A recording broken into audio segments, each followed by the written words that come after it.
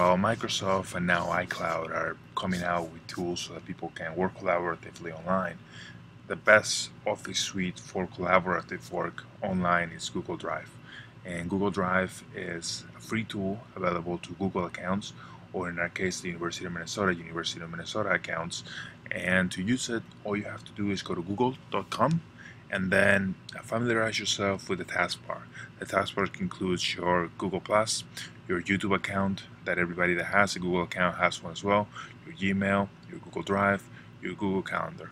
If you click on Google Drive, you click there, you'll go to your Google Drive account, type your X500, no password,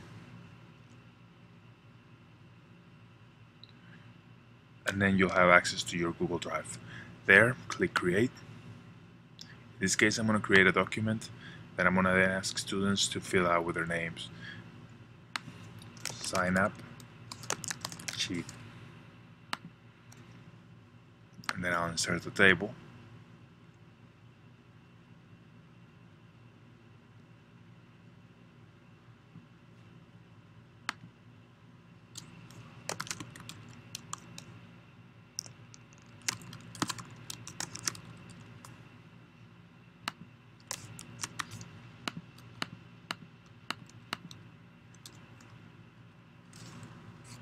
After that, after you create what you want to share, and it could be in the, you know, the beginning of a paper, it could be anything. In this case, a sign-up sheet.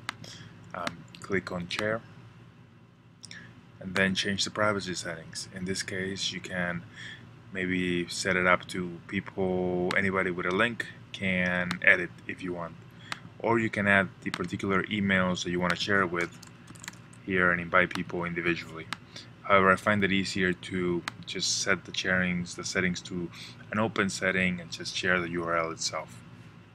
So if I did this, then that other person now also has editing access. You can manage the level of access to commenting or viewing or editing, which each person that you add. But if you add people in bulk by just sharing a link that allows editing, they might you might not even be able to tell who it is because they don't have to sign in to edit. It'll say anonymous edited this, Anonymous did that, so it won't you won't be able to as easily track who did what changes, but it does track every change. So then you copy that URL, then you go to your Moodle site, and you can add that by adding the URL. In this case, I can add it to this uh, label if I want to. Save changes. And now quickly, I'll also add it as a URL within um, Moodle in this case, I'll add an activity or resource. See, here it is. Add an activity or resource. URL. Google Docs.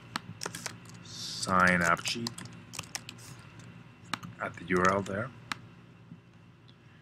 Remember to fill out everything that's red. External URL and name are both red. They need to be filled out since they're red save and return to course. Now we go we have a little icon here that tells you that is an online resource a URL click the Google Docs and then it'll take me to the table that I created before. Thanks